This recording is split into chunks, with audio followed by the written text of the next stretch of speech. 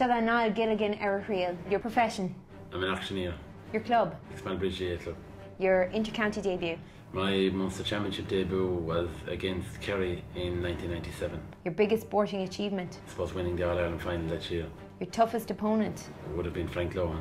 your own personal favourites, your favourite book, Kieran Fallon's biography, your favourite film, Braveheart, your favourite television programme. Seó Spóirt and TG4. On the Clare hurling team, who's the biggest poser, To be Alan Markham. the biggest mommy's boy, That'd be Alan Markham as well. the best dancer, Gary O'Connell, the worst dancer, Brian O'Connell.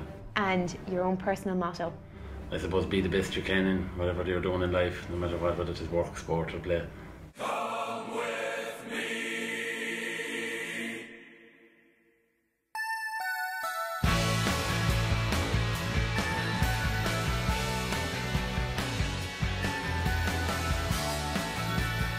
Niall, how disappointed were Clare with this year's league performance?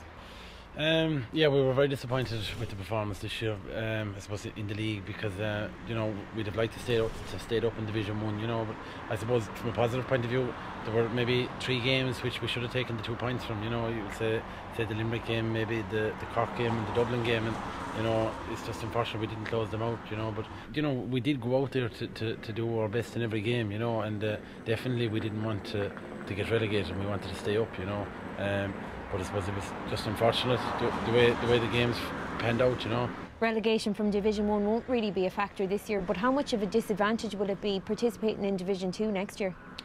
I, I don't I don't know if it will be a disadvantage. Um, you know, there's still a lot of good teams down in Division Two. You know, Antrim, Laois. Um, I don't know who'll come up from Offaly or, or uh, Wexford. So there'll be a number of good games there. You know.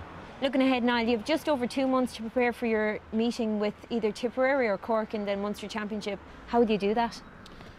Well, I suppose. Uh, you know, there's what there's um, eight, nine weeks to prepare now, and you know, and there's um, in, in that we have uh, we'll, we'll be gone back to our clubs for two or three weeks, you know. So I suppose um, you know we need to, to gather ourselves now and, and, and regroup and and uh, just focus all, all our efforts on the 21st of June.